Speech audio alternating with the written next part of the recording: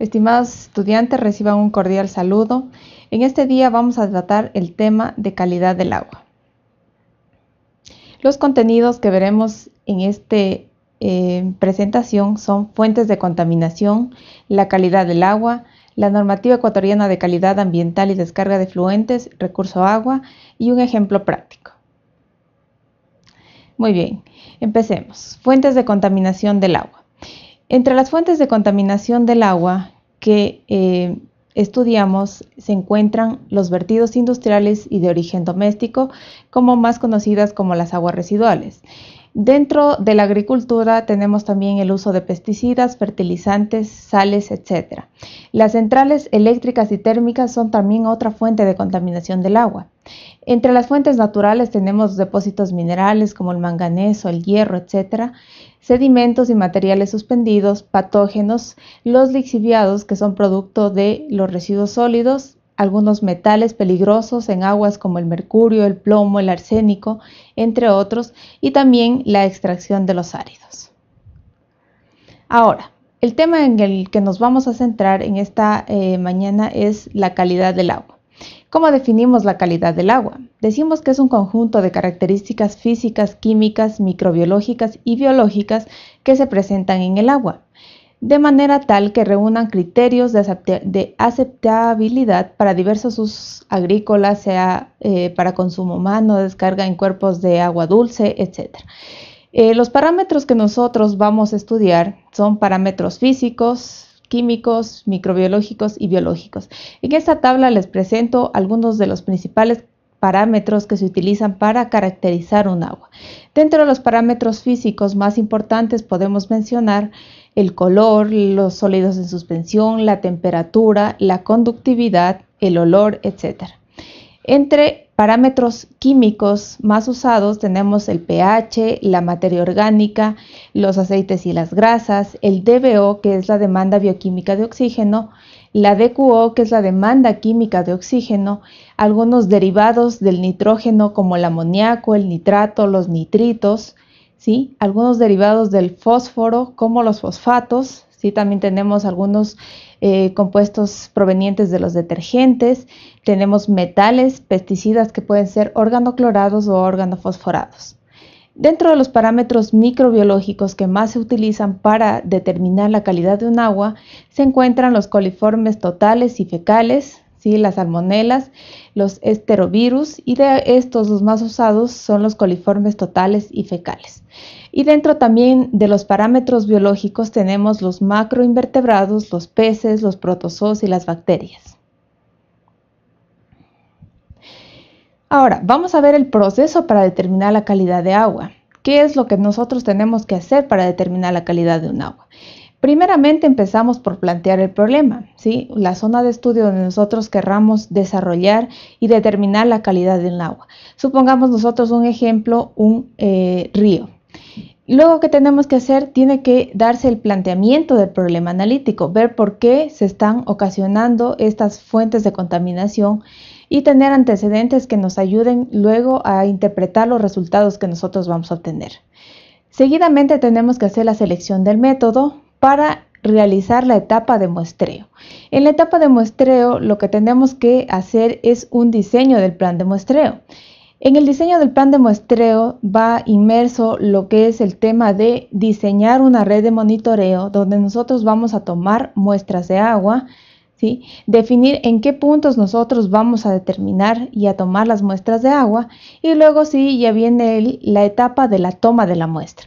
En la toma de la muestra es fundamental que nosotros utilicemos las normativas ambientales ecuatorianas vigentes.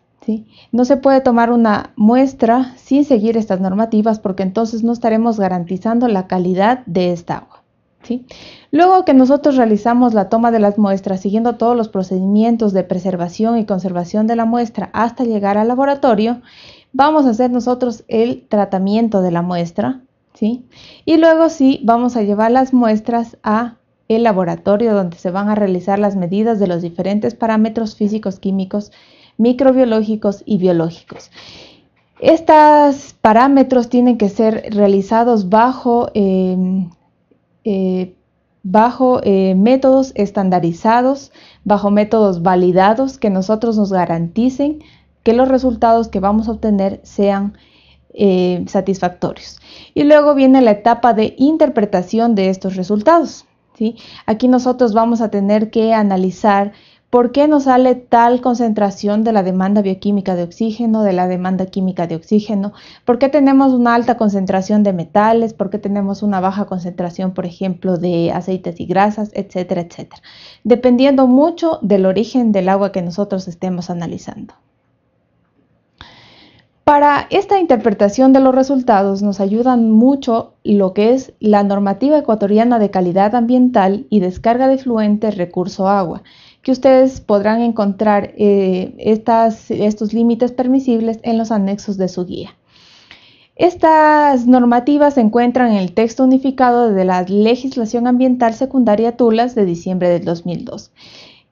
¿Cuáles son estos, eh, estas normativas que encontramos en nuestro país y que se encuentran vigentes? Tenemos, por ejemplo, los límites máximos permisibles para aguas de consumo humano y uso doméstico que únicamente requieren tratamiento convencional. Esto lo tenemos para aguas de consumo humano. En cambio, para, por ejemplo, aguas que se usan para la agricultura, para uso pecuario, ¿sí? también tenemos criterios de calidad admisibles. Y así también tenemos las normas de descarga de fluentes a un cuerpo de agua dulce ¿sí? que son aquellas normativas que regulan la descarga de aguas residuales hacia los cuerpos de agua dulce o también cuerpos de agua salada. Les invito a que ustedes revisen cada una de estas normativas, son muy importantes en el desarrollo de esta materia. Ahora bien, vamos a hacer un ejemplo práctico utilizando estas normativas. Veamos lo que dice el enunciado. Realiza la comparación entre las características del agua de la vertiente de una población X que va a ser usada para abastecimiento, con los límites máximos permisibles establecidos en la normativa ecuatoriana. Luego, seleccione cuáles son los parámetros que sobrepasan los máximos permisibles y dé su opinión acerca de la calidad del agua. Entonces, aquí tenemos nosotros la tabla que la hemos obtenido luego de todo el proceso que ya vimos de la toma de muestras y los respectivos análisis en laboratorio. Por ejemplo, tenemos dureza, tiene una concentración de 550 miligramos litro, coliformes fecales de 100 unidades formadoras de colonia, por ejemplo, tenemos mercurio que tiene una concentración cero, ¿sí? nitratos tienen 2 miligramos por litro y acá les he puesto yo la normativa ambiental para este tipo de agua, que es para los límites máximos permisibles para aguas de consumo humano.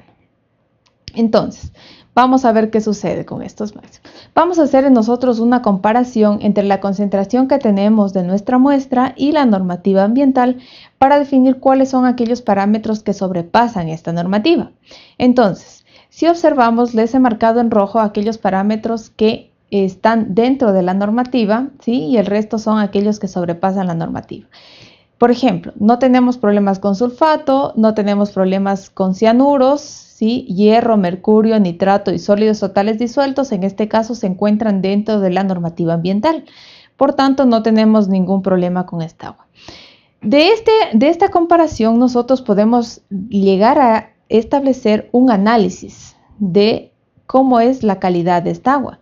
Entonces, ¿qué podemos decir nosotros? Que la muestra de agua de la vertiente de la población X usada para abastecimiento se encuentra dentro de los parámetros establecidos en la normativa ambiental ecuatoriana para este uso que se le da. Por ejemplo, podemos ser más específicos diciendo que la dureza del agua es aceptable, ¿sí? Y la presencia de arsénico es baja y en concentraciones que no sobrepasan la normativa ambiental. Todo este análisis lo podemos hacer en esta comparativa. Entonces, como vemos, la normativa ambiental vigente es algo que nos ayuda muchísimo a determinar cómo está la calidad de nuestra agua. Y así podemos nosotros utilizarlos para los diferentes usos de agua. Ahora, ¿cuáles son las tecnologías de tratamiento de agua que más están utilizando?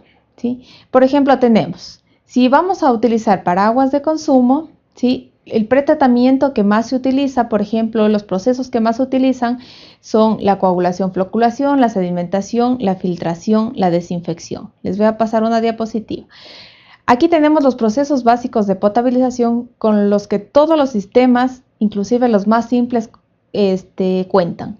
Entonces tenemos lo que les decía, la coagulación, floculación, la sedimentación, la filtración y por ende al último tiene que ir una cloración para satisfacer em, la desinfección del agua. Acá también tenemos otra planta potabilizadora que también cuenta con otros sistemas dependiendo de cómo sea la calidad del agua de la fuente.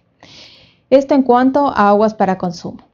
La otra cara de la moneda es el, tratamiento de las aguas residuales, que son aguas de desecho que nosotros producimos, ¿no es cierto? Entonces, por ejemplo, aquí los principales procesos y en forma general son el pretratamiento, un tratamiento primario, que puede ir de cantación, un tratamiento secundario y un tratamiento terciario de ser el caso y dependiendo mucho de la composición que tengan las aguas residuales. Entonces, esta combinación de tratamientos dependerá mucho, como les digo, de la composición que tenga el agua residual y del grado de contaminación con el que estemos eh, enfrentándonos. Acá tenemos otros tratamientos de aguas residuales que son a base de sistemas naturales, por ejemplo, los humedales artificiales.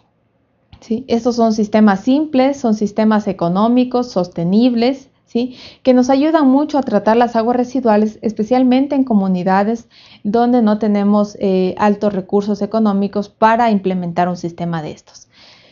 Entonces, les invito a que revisen todos estos tratamientos y estas tecnologías que son de suma importancia y que en nuestro país todavía faltan por desarrollarse. Gracias.